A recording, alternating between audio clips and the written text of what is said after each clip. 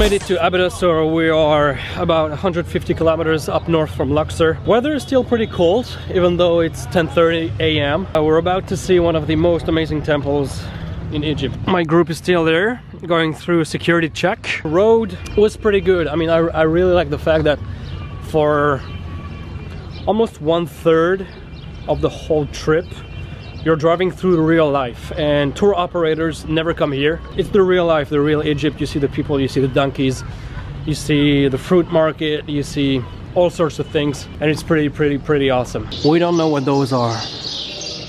Flying saucer helicopter. We don't know. But those are very intriguing. We're walking towards the Osireion. Check it out. The largest megalith in all Egypt in a temple. As we get closer, we realize how huge, how massive, humongous this is. If anyone has ever been to Peru before, it's exactly the same, just like the Mykonos pyramid. It confirms my theory that the people who built that and built Peru at a certain time were the same people with the same knowledge and the same technique. We're trying to figure out a way to go down, but it seems that even with a small baksheesh we can't. Because they say that the stairs are too weak. Estimated weight all the blocks 50 to 70 tons each. So there you can get a small sense of scale. Uh, you see the stairs that are going down and you see the head of one of my guys. He's standing on the top of the stairs and look how small he still looks. Uh, I want to show you the ground and I want to show you how ridiculously complex and huge it is. Just to have a sense of scale, look how small my foot is.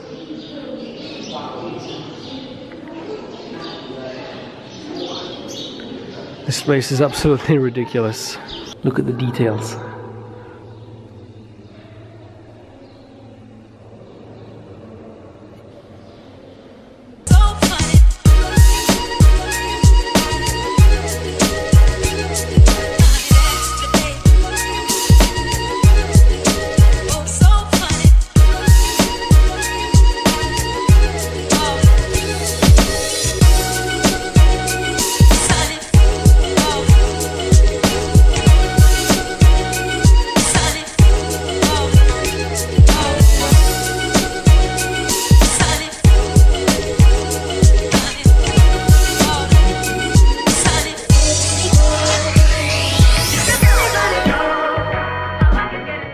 allowed for uh, the, the, the police. The police officer is going to pull over us and going to give us some shaburkin, that's the term.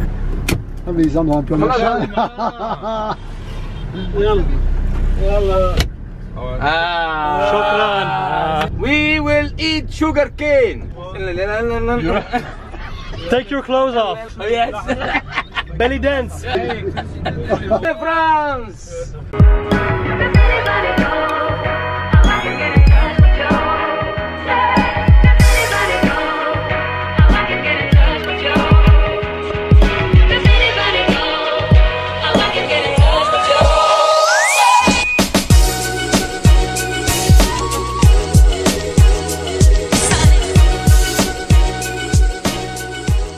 We finally made it to the Dendera temple, still with the original ceiling.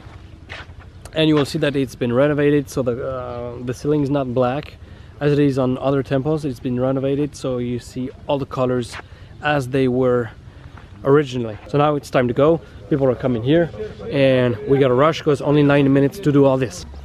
I feel like the hardest thing to do when I'm shooting those videos for you guys is to actually reproduce or give you a real sense of scale. Unless you come here, of course, but that's not the point. The point is that I'm trying to shoot the best videos for you guys to make you discover all those crazy stuff. And uh, just for the record, the Dendera temple is located about 60 70 kilometers up north from Luxor, and very few tourists actually do go there. I'm gonna try to zoom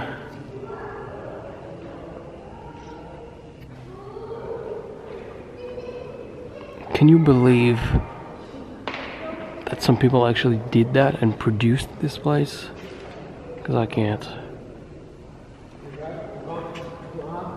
if you look above your head, this is what you see.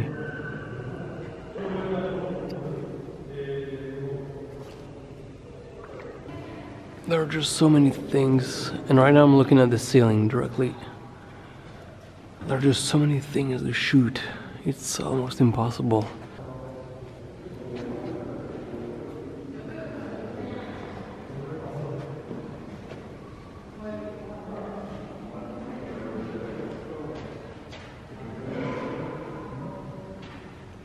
This is nuts.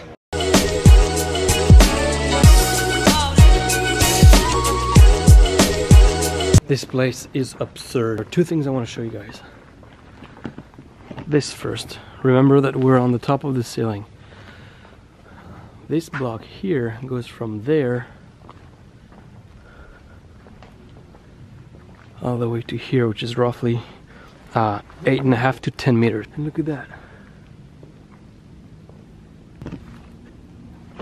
That goes from here, which is roughly five meters long,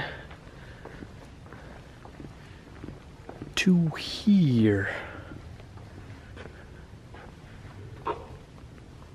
Every time I come here, I try to understand a little bit better, but every time I understand even less and less and less because nothing, nothing, nothing makes sense here.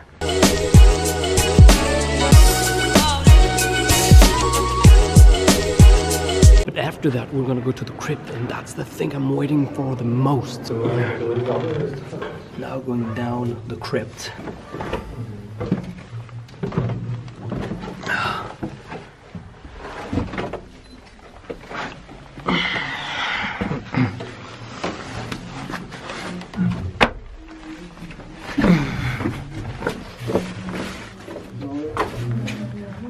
and we're gonna check the Dendera light bulbs. This it smells sm smells pee, right?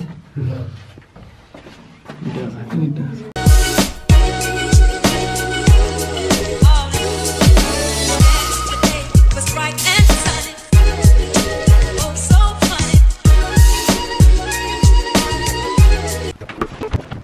Out. We made it. Only one temple in Egypt. Only one temple in the world. We can see that. Okay, let's be honest together for a couple of minutes and tell me that you can create joints like this with your own bare hands.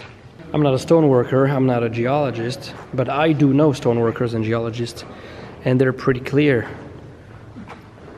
They don't know. We don't have to have an answer, but at least we have to be honest with ourselves and say that we don't know and we can't know.